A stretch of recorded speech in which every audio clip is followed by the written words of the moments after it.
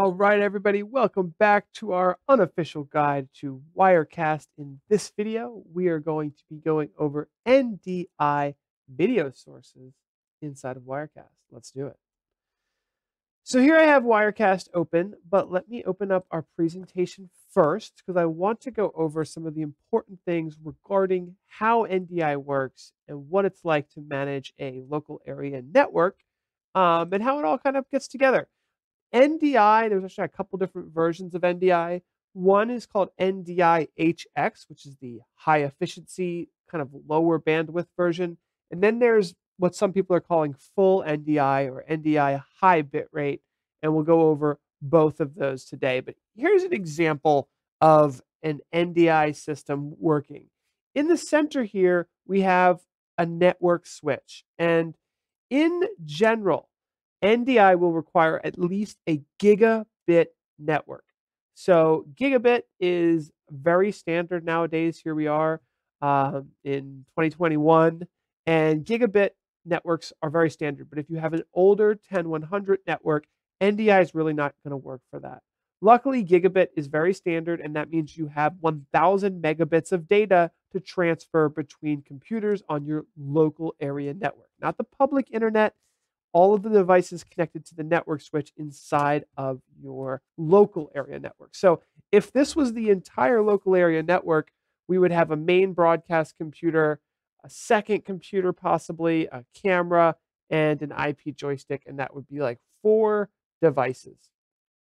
So in most networks, uh, maybe it's a school, maybe it's a church, maybe you just have your own local area network in your home there's multiple different computers connected to a server or really a router, an internet router that's provided to you by your internet service provider. And they're all connected with Ethernet cabling. So at a high level, we've got a router that comes from your internet service provider. There might be a separate firewall box, or that might be built directly into your router.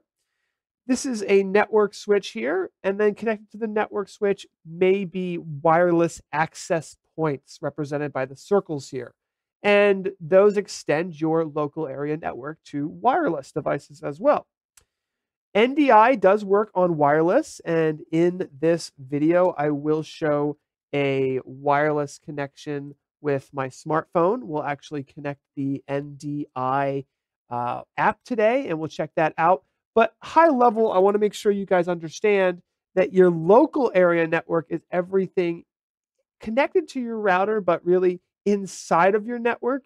And then through your internet service provider, when you stream with RTMP or SRT now is becoming more popular to Facebook or YouTube, that's going outside of your network. Okay. So NDI really is local area network, uh, and that is what it is used for. Here's a picture of our router here, just to give you an idea. We have 150 megabits of download speed, 20 megabits of upload speed. So our router becomes the kind of manager of our local area network, all the devices that can get internet access through this router. But it also is kind of the gateway between the wide area network, the public internet in the outside world, and our local area network where NDI operates. So just to kind of this is a foundational networking, but I think this is important for everyone to understand. So I want to walk you through what happens when your computer interacts with your router in order to live stream. I think this is an important thing to understand. Your computer is connected to your router and it says, Hey, I want to go to Facebook. And your router says, Okay, well, your computer is, has a local IP address. And we'll talk about that in more detail, but your computer is 192.168.1.71. As an example, it might be different. And I'll show you how to find that on your on a Windows computer, at least the computer I'm on right now, I can open up something called command prompt, type in ipconfig. You probably won't need to do this, but just to show you, this computer's IP address is 192.168.1.165. And so the router says this is this computer to the router is an IP address. And the router says, okay, well, you're requesting to go to Facebook. So uh, let me give you that information. The router goes to Facebook, says, hey, this computer on my local area network is requesting something from Facebook through the public internet, and it sends it back. So you send a request out to the wide area network, and then you download that request through your router. Now, um, when you're streaming, you are uploading and streaming out through your router to the to the servers at YouTube or Facebook. And when you are viewing your stream on Facebook, just to test it, right, to see if it's working, you are actually downloading that feedback. So just to give you an idea of how everything communicates. Now, as you're working on setting up a NDI network, let's say for a few cameras with Wirecast, you should probably be managing an IP address table. And what that table is a table of devices that have IP addresses, and we'll look at this in more detail in this video of devices that actually connect to together and are able to share video back and forth. And that's what NDI is going to allow us to do. So the very first address is your router. And all the other addresses can basically be cameras, computers, printers, televisions, all kinds of things, and Wirecast would be one of them. So here's an example of a router with that very first address, 192.168.1.1.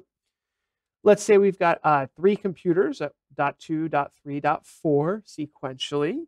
And then we've got four cameras, let's say, and those cameras all have unique IP addresses. And th there's a joystick that has a unique IP address. In this scenario, you may want to manage an, a table that says, hey, here's the IP address and here's the device and here's what it does. And so that way, when you're connecting to things, you know, you kind of have an idea of how many devices are on your network, and how many IP addresses you have available. Now, NDI makes all of this super easy, but because this is a course, I want to make sure we go over at least the high level stuff. Most NDI traffic is multicast if you have a multicast enabled network, uh, but you may be using it in unicast. And essentially, uh, unicast is a single on demand stream to each space whereas multicast uh, can actually broadcast to multiple places at the same time without incurring additional bandwidth. So when we're talking about NDI in regards to Wirecast, we'll get to Wirecast in a second. We can hit the plus button, we can go to the network category, and we can get a list of NDI sources on our local area network. One of them will be the HuddleCam HD Pro IP. This is an NDI webcam that will show. We'll bring it right into Wirecast. Another one is just going to be my phone, which you could think of as an endpoint. This has an IP address. It's connected to the Wi-Fi router, and we'll bring them in and we'll look at them inside of Wirecast. So that's our next our next thing here. So I'm going to delete the shot I have currently, and I'm going to bring it in fresh. So when we hit the plus button, we go to network.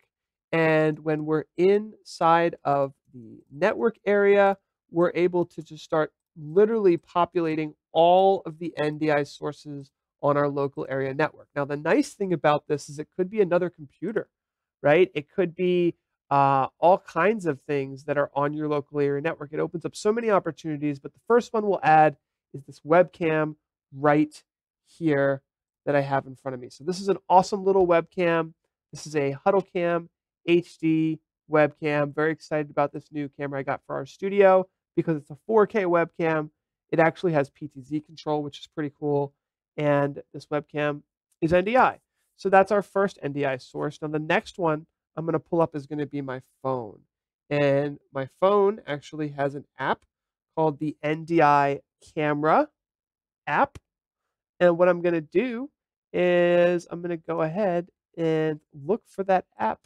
Uh, it's just going to pop right up in this list. So give it a second here. Might have to just pop this up one more time. And we're searching for NDI sources.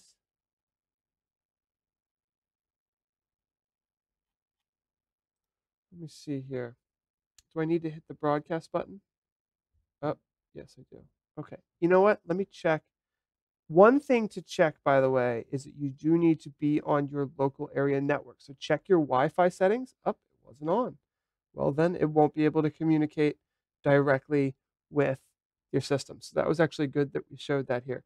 Now that I've checked that I'm on the Wi-Fi, if I go back to my NDI camera and show that I'm broadcasting here, and I hit the plus button, my iPhone comes up. And there it is there. So now I have this live camera that is my phone. And I've got a totally wireless camera to use. So it's very high quality. This is coming in in 4K at 30 frames a second. You can see there, um, which makes it super, you know, crisp and everything. You could use this as a secondary camera on your local area network. Um, let's see what else Wirecast shows us about this camera. Um, we have the ability to you know, change the size, the scale. We can digitally zoom it in and out. Um, we have the ability to set an audio delay. There is audio coming in with this. We have the option to change the bandwidth. So if we go to low bandwidth, uh, it gets a little bit uh, blurrier, but it's smoother. So you may need to do that depending on the network that you are in. We do have the ability to turn on GPU decoding. This will make it better as well. This will send some of that decoding to um, our graphics card that we have here. And so that gives you two examples, but I'll, I'll tell you this video right here, which is hardwired, um, and I'll show that really quickly here. This video is hardwired Ethernet. That's going to give you a better video connection usually than your smartphone. Now the smartphone's not bad, right? So let's show this again inside of Wirecast here. Low latency on your local area network, not bad at all. Um, you can see I'm actually using a HuddleCam Pro on that side as well. So there we go. We've added multiple camera inputs inside of Wirecast, giving you guys the look and feel of what you can do with NDI video sources on Wirecast. If you have any questions, let me know in the comments below.